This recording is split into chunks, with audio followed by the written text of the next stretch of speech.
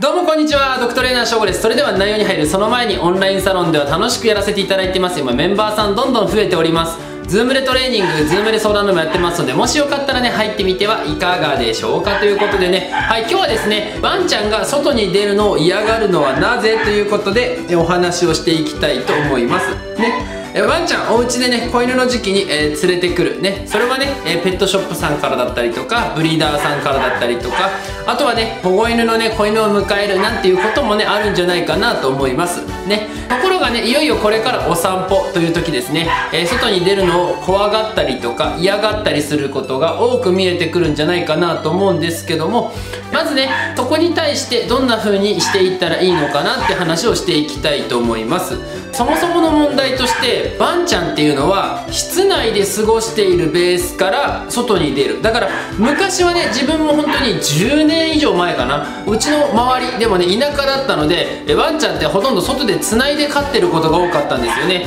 良くも悪くもね予防接種もね、えー、しないでちっちゃい時から終わってないのにも外で飼ってるみたいなパターンが多かったんですけどそのおかげかどうかは分かりませんけど昔ってそのお外に慣れてないとかお散歩が嫌いっていうワンちゃんはいなかったんですよね。で今お散歩がねちょっとね苦手とか外に出るのが苦手だよっていうワンちゃんが増えてきたえ一番の理由っていうのはやっぱり室内外ですよね。室内外で家の中に入る。で家の中に入ると今度どうしてもね外の刺激っていうのを受けることが少なくなるので外に対しての、えー、やっぱり慣れっていうのは進んでいかない部分はあるんじゃないかなって思ってます。なので私たちがねお家に来た日から、まあ、抱っこ散歩まで行かなくてもいいですけど本当にね家の周りちょっとね外にね抱っこして出してあげたりとかっていうのをちょこちょこねしていかないといけないんじゃないかなって思ってます。ね。なのでもうお家に来た日からね抱っこしていろんなところねお外見せてあげたりとかっていうのはしてあげた方が個人的にはいいんじゃないかなと思ってますのでまあやっぱりね三つ子の魂100までじゃないですけどワンちゃんも若い時にやっぱりねいろんな経験した方がいいかなと思ってるのででやっぱりねそのお散歩に行くタイミングになった時に急に出すっていうのはなかなか難しいんじゃないかなって個人的には思ってますのでえぜひねちょっとずつ慣らしていただけたらと思います。2つ目ですね。つ目は、えー、首輪やリードに慣れてないということでさっきもね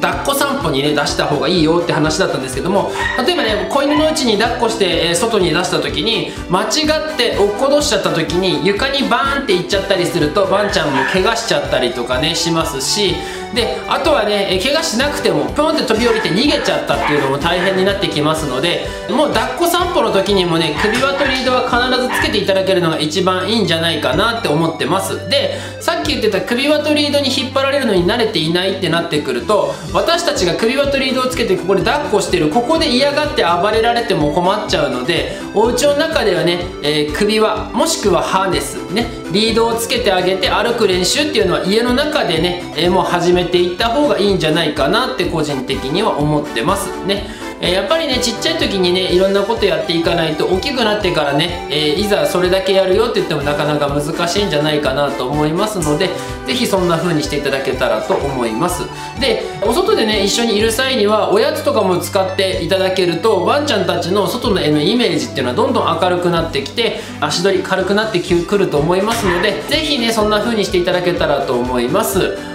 はいというわけでね、えー、ワンちゃんたち外に出るの嫌がるって言っても実際はね、